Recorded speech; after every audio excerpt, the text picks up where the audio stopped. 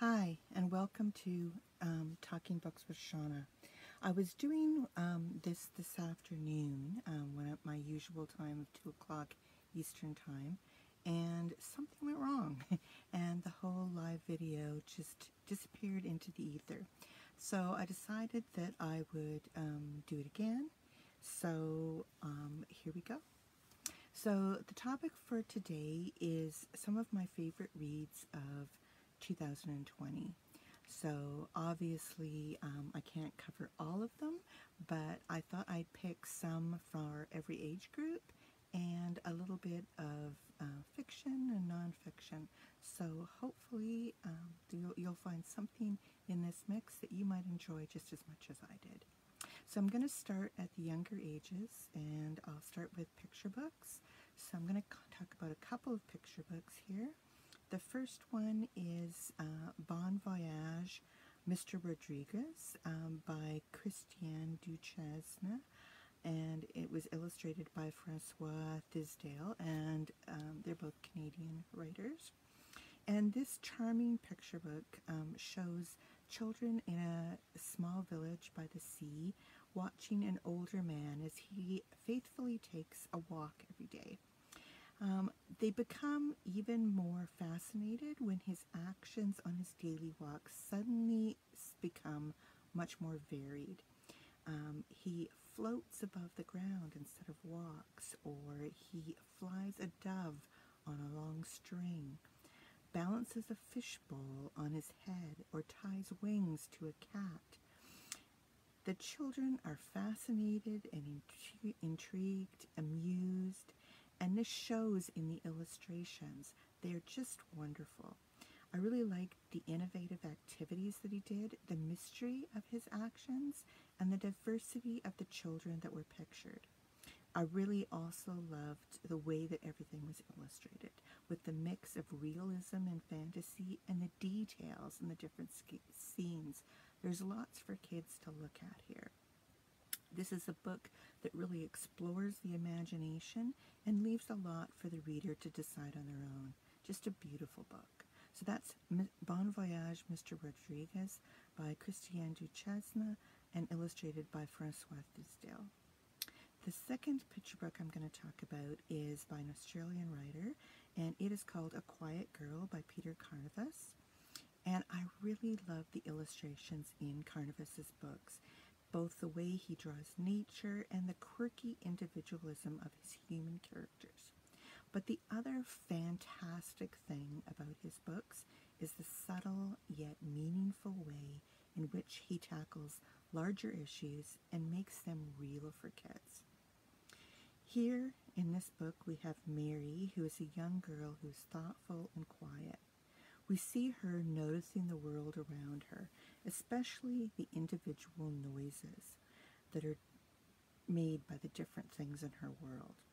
She engages in thoughtful activities and she tries to share them quietly with her family. But her family is the opposite of her. They're loud, they make noises with different tools and toys and um, devices, and they talk really loudly and they don't hear Mary. Um, so they tell her to, to speak up, to talk louder. But Mary stays true to herself and remains a fairly quiet girl. She actually becomes quieter and she notices even more around her. Not just the things she hears, but the things she sees and the things she feels. The smell of nature, the feel of the breeze on her face.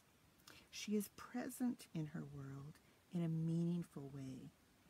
And at first, her family just continued on with their noisy, normal behaviors.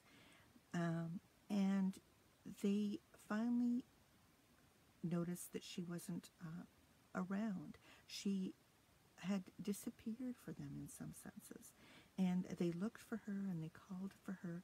And it was only when they stopped and they listened that they heard her singing softly to the birds, and they realized what they had been missing in their normal activities. The book includes a two page introduction to mindfulness at the back, and it gives some suggestions about how to be present in your own world, like Mary is in hers. I really liked the one suggestion when they ask you to close your eyes and listen and identify the quietest sound that you can hear. It's beautiful and simple to do and so satisfying. So that is A Quiet Girl by Peter Carnavas. The next book I'm going to talk about is for slightly older children, and it is called The Elephant, by P- also by Peter Carnavas. And this lovely little book um, tells the story of Olive. And Olive lives with her dad and her grandpa. And her mom died when she was very young. She really only remembers her through photographs. Olive can see that her dad isn't happy, and even though he has a routine that he does when he gets home every day, he's really just going through the motions. And whenever Olive looks at her father, she sees beside him a large gray elephant, one whose shadow darkens everything around it. And she knows that until that elephant goes away, he won't get any better. And she's been thinking about this for a while, and she shares her thoughts with her friend Arthur. And Arthur is a boy who listens, and he also reads a lot, and he does his his research. And so he gives her some good advice, and then he also begins to read about elephants to see if he can learn things that might help Olive. And at school, they are celebrating the school's 100th anniversary, and at the end of the term, the children will be bringing something old to show the others and share with them. And Olive um, thinks about things that she might want to bring that are meaningful to her. Her grandfather suggests a typewriter and a record player, and she enjoys those things, but they don't have the same meaning for her as something more personal. So um, Olive has a really good relationship with her grandfather, and every so often when he comes to pick her up from school, he'll be wearing his purple backpack. And when he wears this backpack, she knows they're going on an adventure. And there are times, in, even though he's doing much better than her father, that her grandfather gets sad too and has his own gray creature by his side. And Olive and Arthur, working together, um, try to find a way to make the elephant and the other gray creatures go away. So, this is a great book to help kids understand when someone in their lives is struggling with depression. Um, the use of the different animals um, bring the idea of depression to life in a very physical way. And the way that people work together to make things better for everyone shows there's often a way forward past the depression. The illustrations for the book are simple, and yet they show so much. From the jacaranda tree that Olive loves to sit in to think, to Olive, Arthur, her teacher, and the other characters, as well as the gray animals, especially the elephant, which wears its tiny black top hat. This draw, uh, the drawings in this book will really bring the story to life for young readers. So that is The Elephant by Peter Carnavas. Also for slightly older children um, is a book by a Canadian writer called Harvey Holds His Own by Colleen Nelson. And this book is um, telling, it's the second book in a series about Harvey. Um, and the first one was called Harvey Comes Home. And Harvey is a West Highland Terrier um, who lives with his owner in Winnipeg. His owner's name is Maggie, and she's going to be starting high school soon. It's at a private school for girls in Winnipeg called St. Ambrose's Academy. She has some continuity because two of her friends are also starting in the same school. And one of the requirements at school is to do volunteer hours. And Maggie looks at the list of places that she has that she could volunteer at. And she uh, decides to choose Braeside Retirement Villa because it is a place that she's already familiar with. And so is Harvey because he went there in the first book. And she's a bit nervous going to the retirement villa, but she finds that the staff and the residents are very welcoming, and she's allowed to bring Harvey with her when she goes. Austin, the boy that found Harvey in the first book, is also volunteering at the villa, and he's really happy to see Harvey again. And a friendship develops between Austin and Maggie as the book goes forward. One of the thing, things that Maggie does at the retirement villa is sort books in the library, which is very out, out of order. She also helps a new resident, Josephine Fredette, unpack and begins to develop a friendship with Josephine as she learns Josephine's unique story. I really enjoyed this book as we see Maggie grow and venture into new experiences, and we see a little bit about Winnipeg history as well. We also see Harvey develop in this book. Um, he is a real um, terrier um, in nature as well as in breed, and you see his doggedness as he senses an intruder in his territory and hunts it down to ensure that it doesn't return. He also is very empathetic towards Maggie and towards the residents that he visits when they go to the seniors' home. The drawings really bring Harvey to life, and I liked how the drawing at the start of every chapter gave a hint of the story that was going to happen in that chapter. There are lots of interesting characters here, and this is a great book to learn a little bit of history and learn a little bit about animals and learn about helping other people. That is Harvey Holds His Own by Colleen Nelson. The next book for kids um, is also part of a series, and it is called uh, The Skeleton Coast, and it's by an Australian writer, Mardi McConnochie. And this book is the third book in the Quest of the Sunfish series, which started with the flooded earth and continued with the castle in the sea. In the Skeleton Coast, um, they continue the story that began in those earlier books, where the children are on their father's boat, the sunfish, looking for their father who has disappeared because of the people that are looking for him to try and silence him. And this is a time when the earth's waters have risen and humanity has grown more divided. And there are haves and have nots. And one of the people that they picked up in the first book, Pod, um, is a refugee child who was put into slavery and ended up stranded in the ocean until their ship um, picked him up. There are all kinds of adventures in this book, from pirates to dog packs, and they must use all the skills and ingenuity to stay together and on their father's trail. I really liked the way that each child brought something to the quest, and that without all of them, they wouldn't be successful. None of them is perfect, but they recognize that and accept it. This is the story that shows all the children having unique and necessary attributes, and I liked that gender wasn't an issue. Bravery is shown by all of them at different points in the story, and weakness is also shown by all of them.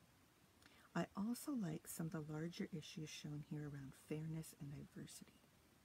So that is um, the book The Skeleton Coast, the third book in the trilogy Quest of the Sunfish by Mardi McConnochie. The next book I'm going to talk about is for um, teenagers, but also really appeals to adults as well.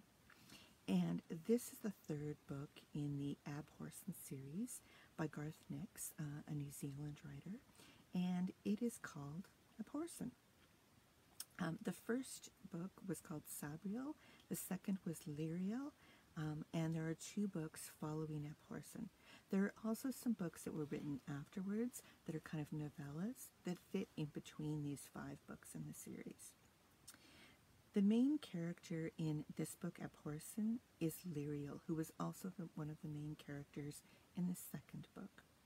Here, this continues the story of Lirael as she follows the trail that has been foreseen by her as she searches for Sam's friend Nick and the great power that he is in the process of releasing that of the destroyer.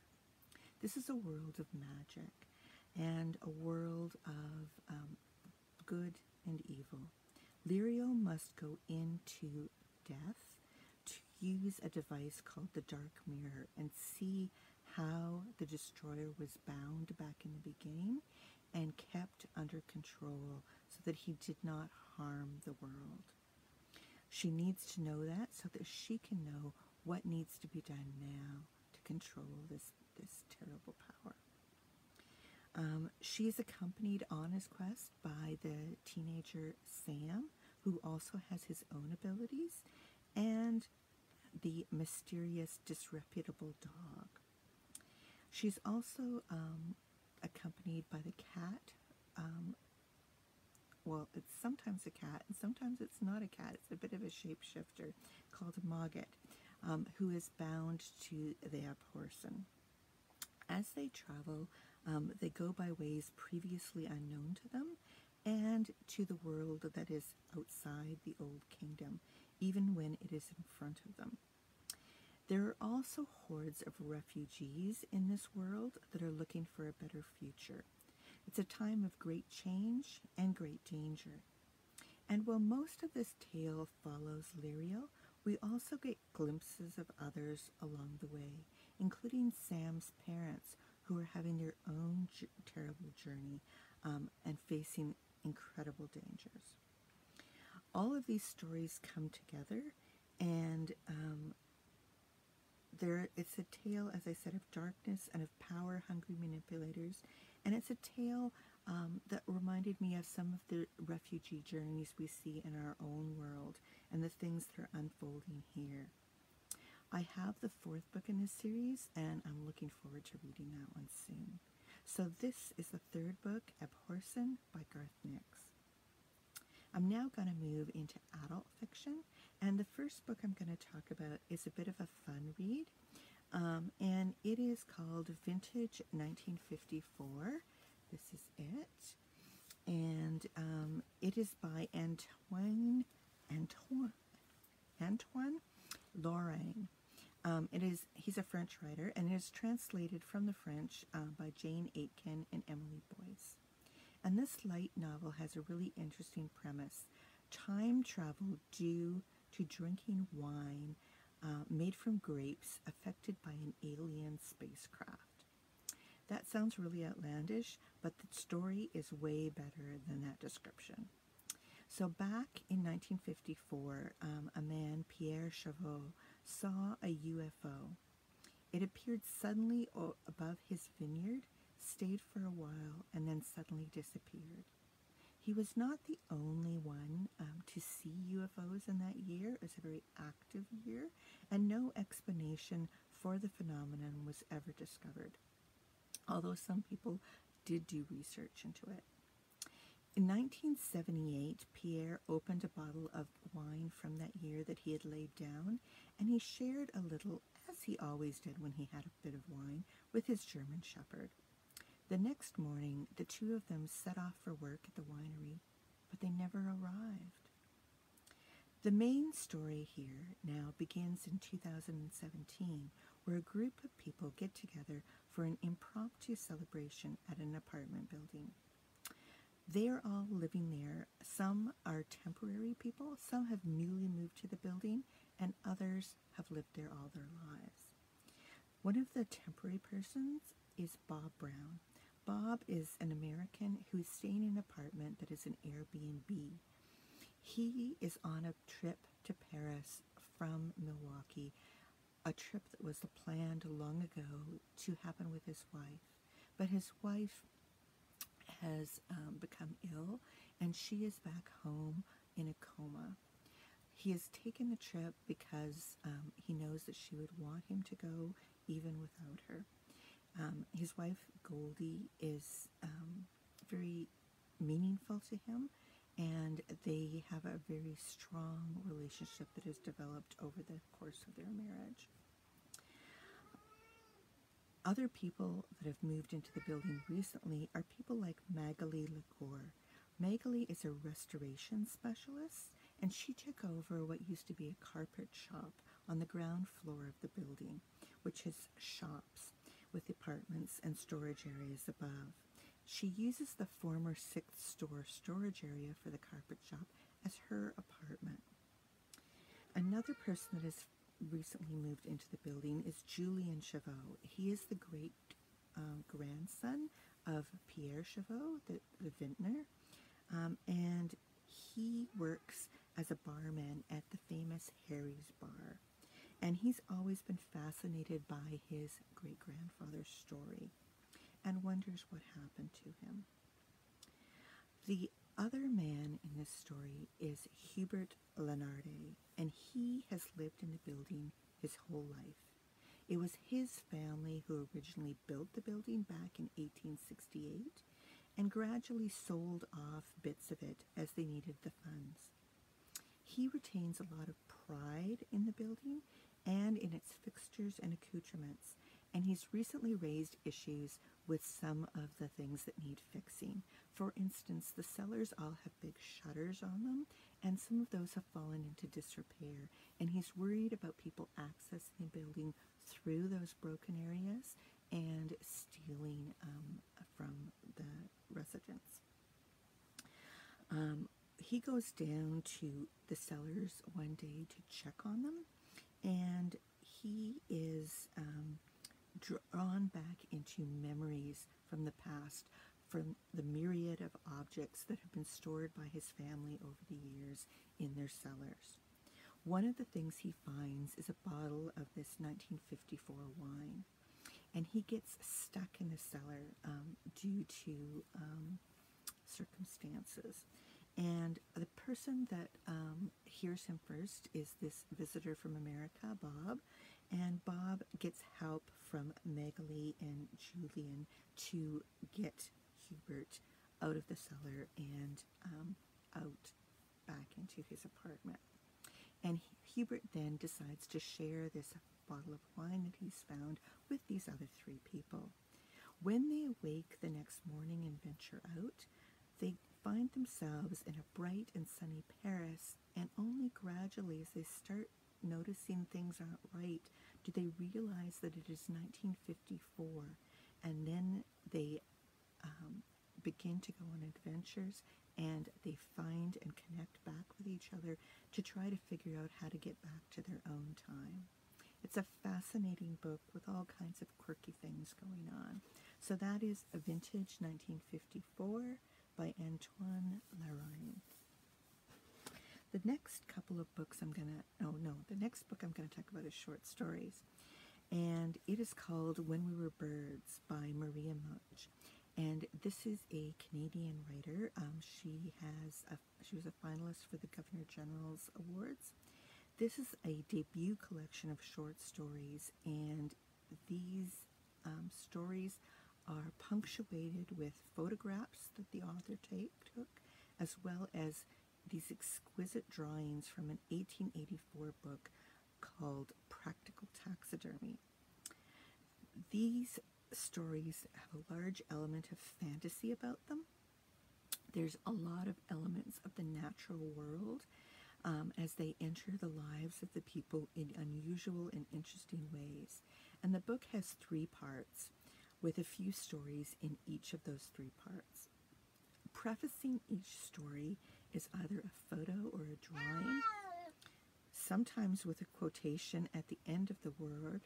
Um, uh, sorry, sometimes with a quotation that relates to the story. For instance, in the first story, The Peregrine at the End of the World, the image is a diagram plate of a bird skeleton, and the story has a young female peregrine that has been turned into a woman.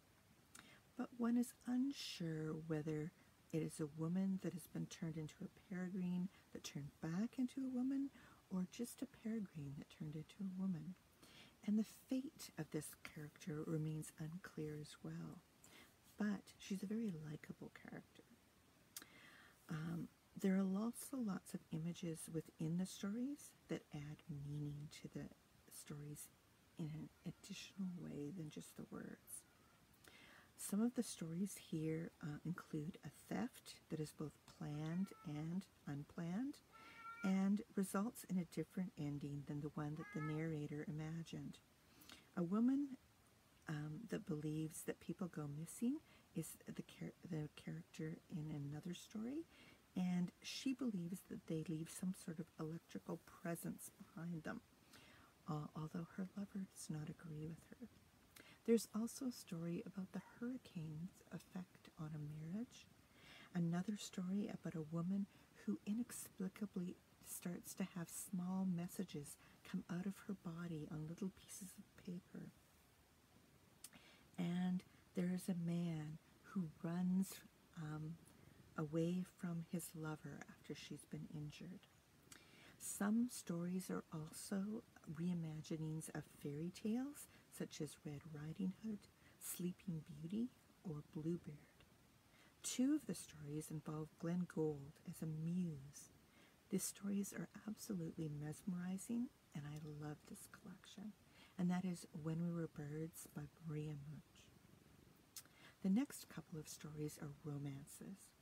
And here there is a, um, the first story I'm going to talk about is a American story that's uh, an LGBTQ romance. And it is called Written in the Stars by Alexandria Bellefleur. And this romance takes place in Seattle and is a delightful rom com of a read. One of the two characters, Darcy Lowell, is an entrepreneur and an astrologist on the verge of a really big business deal. Her and her partner, Margot, um, signed a deal with a popular matchmaking firm.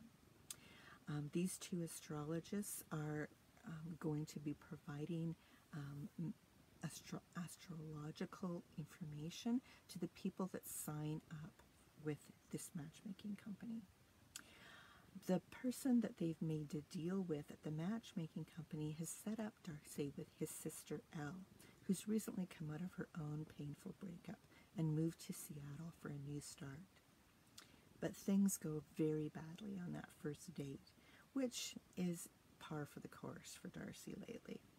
And Darcy feels really down, not just because of the outcome of this date, um, and her non existent love life, but also because she feels that her family doesn't see her unconventional career choice as a serious venture, despite her recent successes.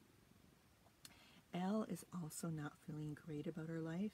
Um, as I said, she just come out of a breakup and she's tired of her brother trying to set her up. And she doesn't have the energy to keep going on bad date after bad date. And so she fibs to her brother and tells him that the date went really well and that um, she's going to be seeing Darcy again. But then she finds that she has to bring Darcy into this uh, lie and get her on board um, to be able to continue to uh, fool her brother. And as the two of them spend more time together, they find that um, they have to get over the lack of trust that they've had because of the past situations that they've been in. Um, and they also have to um, find out about each other's families to be able to navigate um, this situation. There's a lot of intriguing things happening here, and I have real trouble putting this book down. So that was Written in the Stars by Alexandria Bellefleur. The other romance um, that I'm going to talk about is also American, and it's set in Nashville and it is the second book in a series. It is called Undercover Bromance by Lyssa Kay Adams, and the first book in the series was the Bromance Book Club. The third is Crazy Stupid Bromance, and the fourth is coming out later this summer, and it is called Isn't It Bromantic? Um, this book, I could see the signs of the plot in the near the end of the last book. And the main character in this book is Braden Mack. He's a restaurant and a bar owner, and he's actually the man that started the um, Bromance Book Club. And the Bromance Book Club has a very interesting premise. It has a group of men reading romance books in order to make their relationships with the women in their lives better. And Braden, um, we get to see into the past where he started reading romance books and how he started the book club and how he uses the books to improve everybody's relationships and get through some of the situations that they find themselves in. He's been using the books, but not as deeply as he needs to if he really wants to have a truly meaningful relationship. And so when he's on a date um, at a fancy restaurant, um, everything falls apart. And that date ends that relationship, but it also begins a, a, a, reignites a connection that he made back in the first book with a woman named Liv Papandreou. She's a pastry chef at the restaurant and the sister of one of his friend's wives. And she's on a mission to uncover fraud, abuse, and misogyny in their town. Um, she isn't really interested in Braden, but because he is a very charming man and he has a lot of connections, she finds that um, she keeps encountering him, and some of the things that she's working on um, are helped by things that he is doing. So it's a really interesting book in that there's a depth of plot, including some bigger societal issues, and there's also a, a hot romance going on. So that is Undercover Bromance by Lyssa Kay Adams. The next book I'm going to talk about is a uh, Canadian first novel, and the author, Andrew Unger, writes a satirical Mennonite news site from the heart of uh, Manitoba's Mennonite country, Steinbach. And the site, the Daily Bonnet, is well worth a look. His book is called Once Removed, and his main character here is Timothy Hupner, who is also a writer. He's been working as a ghostwriter for the older people in his small town in southern Manitoba, and he also works for the local Parks and Rec department, mostly doing laboring jobs. Timothy's wife Katie is just finishing up her master's thesis and she is from a nearby town, Altfield, uh, which is a town that is preserving their heritage and even has an archives.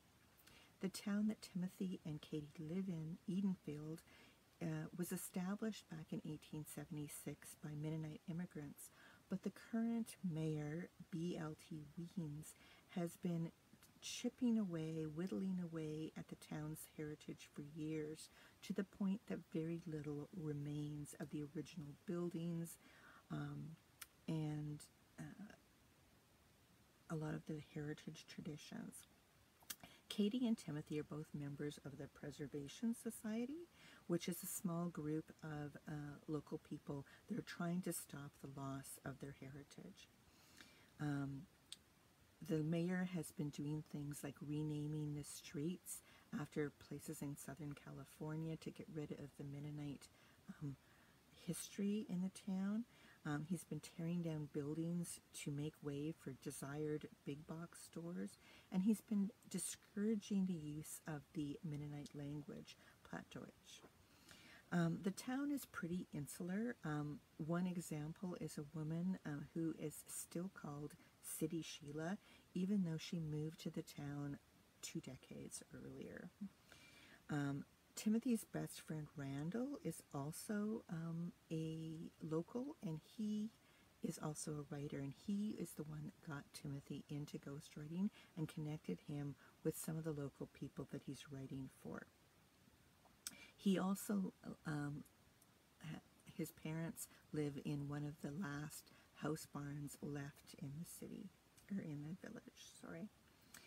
Um, Timothy um, is given a task by the Preservation Society to write a book about the history of the town, but he's really worried that um, this task will expose him to um, the ire of the town and the mayor and jeopardize his town job. But as he begins to do the research on the town and talks to more and more people, he finds that he is starting to own um, take on ownership of this heritage that is his own heritage as well and his own culture. And the book takes place over the course of a year, which uh, with four chapters, each representing a season of the year, and each um, titled with the name of a season in Plattdeutsch.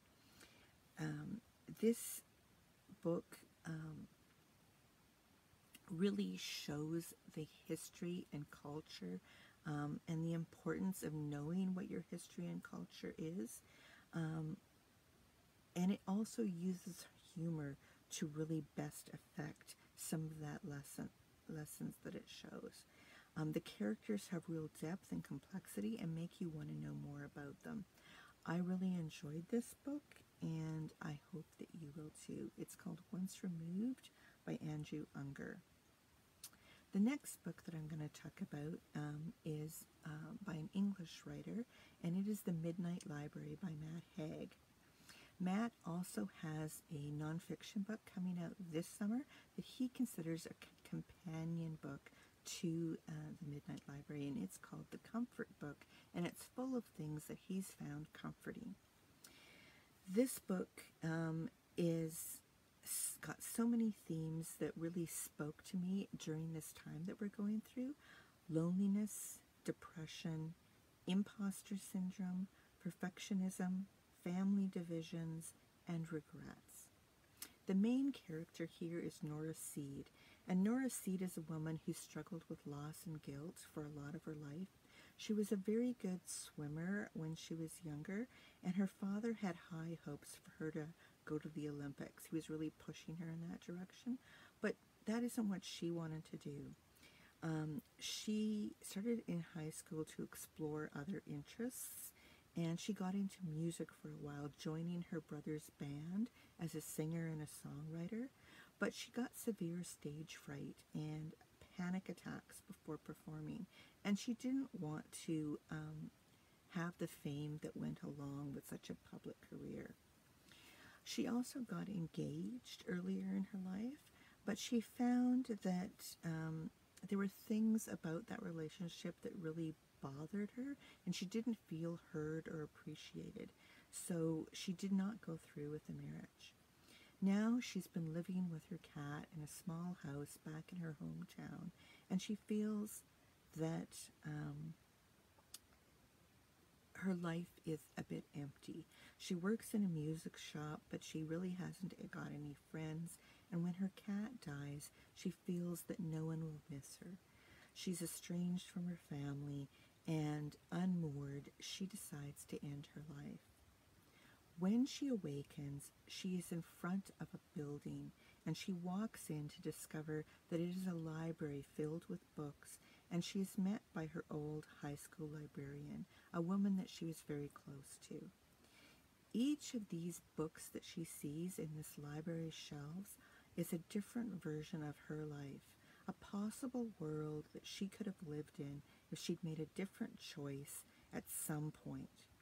It might have been a small thing, like letting her cat outside, or a large thing, like traveling to Australia when her friend went there.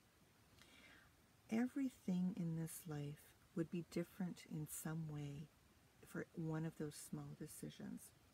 Nora has the opportunity to look at the regrets that she's had about her life and decide to see what life she would have if she had chosen differently at any of those points. I think this idea of regrets and what ifs appeals to most of us in some way. What if we'd gone to a different school, majored in a different uh, subject, dated a different person, traveled somewhere differently, or gone at a different time?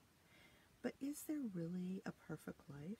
After all, no person is perfect. Why should we expect our lives to be perfect? This is a book that makes you reflect on your own life and consider any regrets that you might have and think about how you feel in your life.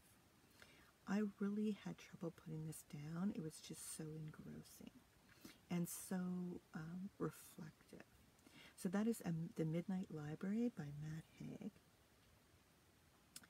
The next book I'm going to talk about, and the last fiction book in this um, talk, is The Sparrow Sisters by Ellen Herrick. This is also um, the first book in a two book series, followed by The Forbidden Garden. And Ellen Herrick is an American writer living in Cambridge, Massachusetts. This book takes place in a small seaside town in New England called Granite Point, and the town's only doctor has recently retired and sold his practice to a younger man, Henry Carlisle, um, a doctor who had previously worked in nearby Boston in the emergency department and also in the military in Afghanistan. He was injured there, he has a leg injury, and he has a backstory that is gradually revealed um, throughout the book. The town's residents are pretty friendly and close knit, and among them are three sisters who live together in the house that they grew up in and who run a garden business selling plants, flowers, and produce. There were four sisters, but one of them died of cancer under the care of the doctor who's recently retired. The youngest sister, um, Patience, um, short for impatience, um, the flower, has a touch that she may have inherited from an ancestor who was accused of being a witch. Patience um, has many quirks. She uses the herbs and other plants that they grow to make tonics that the people in town rely on. Um, and another interesting thing is that Patience moods manifest in different ways. Different herbal scents come off of her depending on what mood she's in, giving a hint to the people around her. And the weather seems to be uh, affected by whatever mood she's in as well. Um, her body temperature fluctuates as a sign of what's happening to her internally. Her two older sisters, Sorrel and Nettie, are very protective of Patience and also have their own personal connections to men in the town that they've never acted upon.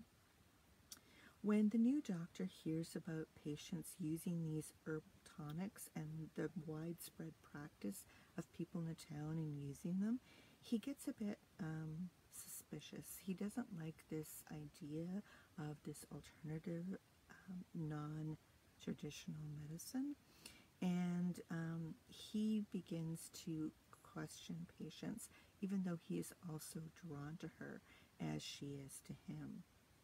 There's also a young boy in town who's kind of been taken under Patience's wing after he um, lost his mother. His father's very disengaged, still grieving the loss of his wife, and Patience has been teaching him plants and giving him cookies, and um, she also uses a tonic on him when he has been forgetting to take his medication. When a tragedy hits the town and a local man erupts uh, very emotionally, um, Patience is made the target of some of the blame for what has happened, and things get really crazy in town. I find the book really fascinating, and I liked the way the people in the town reacted under the pressure of this tragedy, particularly the women.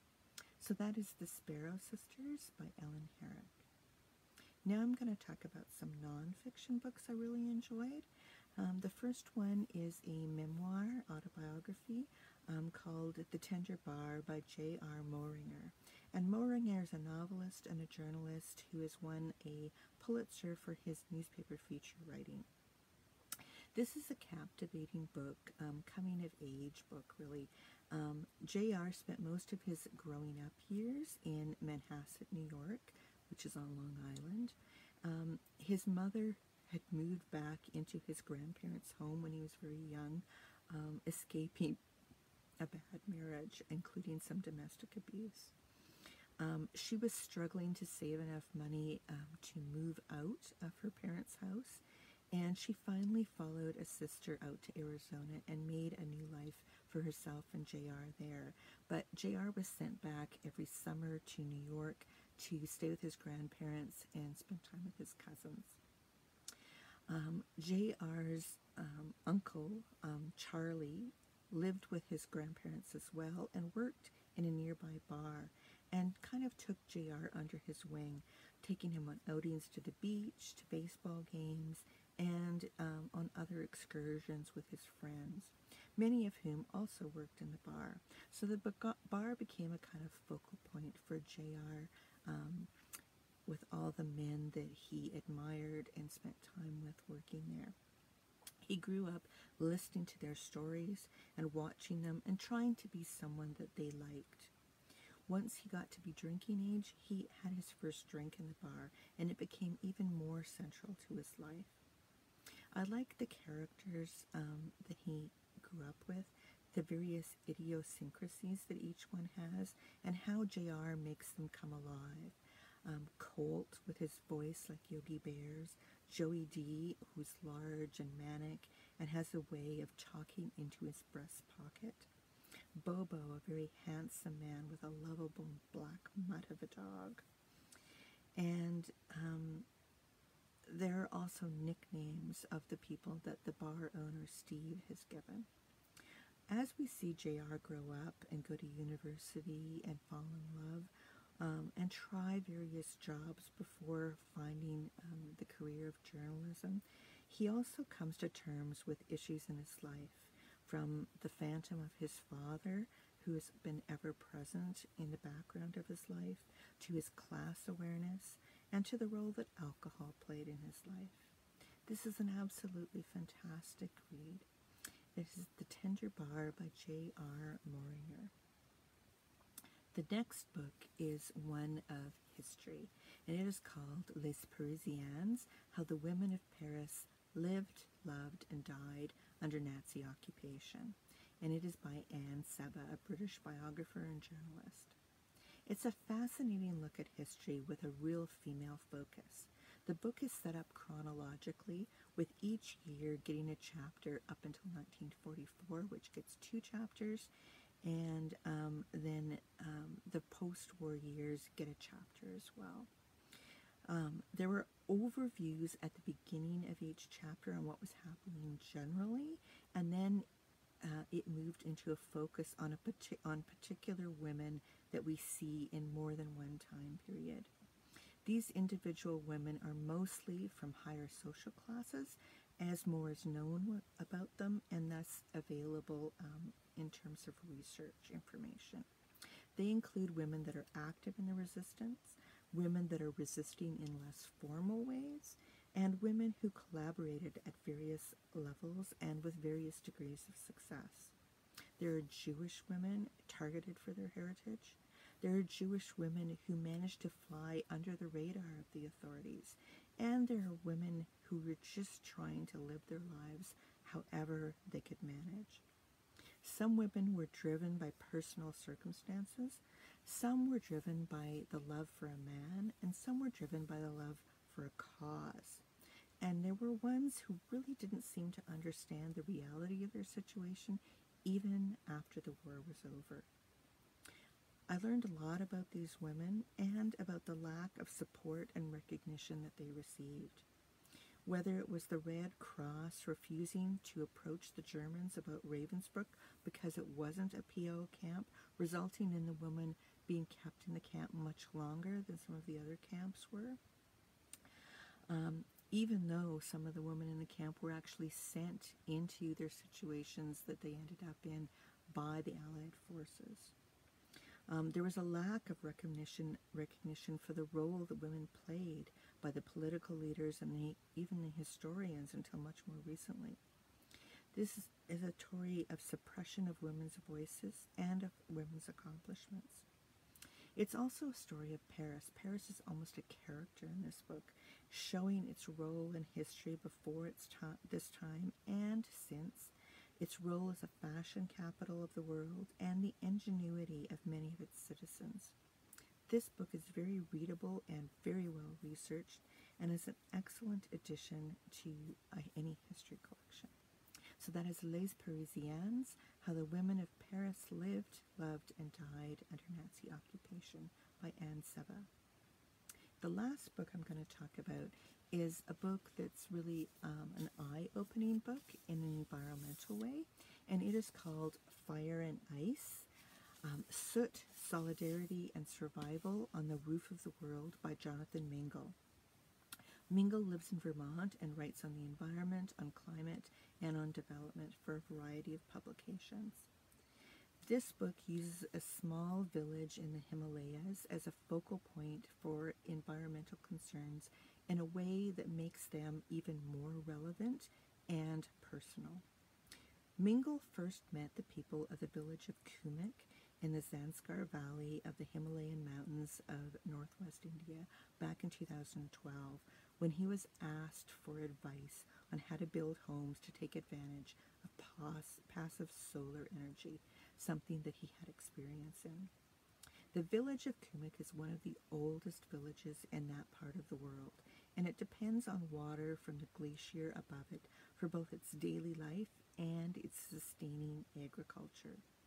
But the water has been providing less and less over the years, with the glacier shrinking and most of the remaining melt-off going down the other side of the mountain to other villages. So the village people have been looking at their options as every year means that they have to decrease the number of fields that are under cultivation and the men are forced to work away at other jobs out of the village. They come to the decision to move the village to a new location where they can arrange irrigation from a nearby river. And they will be building this village from scratch and want to do it in a way that takes advantage of things like solar energy as much as they can. Through Mingle's words, we see the intricacies of village life and how they depend on each other. We also see the long history of the social contract, which has um, um, neighbors supporting each other with the two necessities, fire and water. Violators of their social contract are cut off from both of those necessities, putting them in the position of not being able to survive. We see Mingle's work and his interactions with the villagers over a couple of years as they decide to, um, as they gradually build the new village. Um, they have many meetings and they make many decisions and they work together for their future. One of the things that Mingle does as he talks about these things is he brings in information from outside the village. He looks at why the glaciers are shrinking and the role not only of carbon dioxide but also of black carbon. Black carbon um, often appears as soot and it has many effects on the environment. Not only does it pollute existing glaciers, but it also causes them to heat more because of the dark color, and thus they shrink more quickly. Um, it also has uh, effects on human health and indeed the health on all living things as the soot in the air gets breathed in.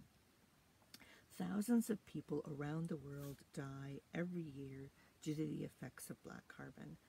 Um, and black carbon's health effects are seen very locally, but its environmental effects are global because those particulates travel quite a long ways.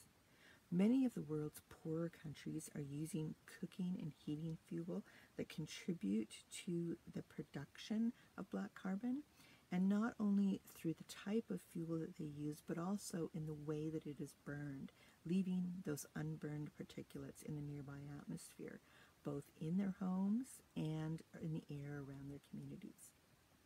Um, black carbon is also an output from the burning of diesel fuel, which is often used for generators in remote communities, as well as for transportation in many parts of the world. Um, even in the developed world, the use of wood burning stoves and heaters contributes to the pollutant of black carbon. I learned that the color of the flame is a strong indicator of the presence of black carbon as an output. The bluer the flame, the cleaner burning it is. That orange glow we admire in a fire is not a healthy sign. In many instances, there are ways to tackle this. Um, they development and distribution of cleaner burning stoves and heaters needs investment and government support worldwide.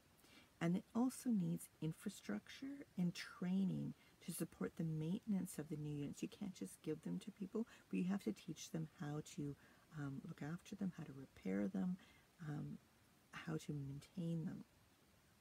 Um, in the developed world, we can replace wood stoves with pellet stoves um, that burn more cleanly. Um, there is a lot of hope in this book people working together can make a real difference. And we see how uh, the people in this village are making a difference and the people in other parts of India and other parts of the world. Um, there's just so much in this book that talks to the environment and both the things that are going wrong and the ways that we can make changes. So that is Fire and Ice, Soot, Solidarity and Survival on the Roof of the World by Jonathan Mingle.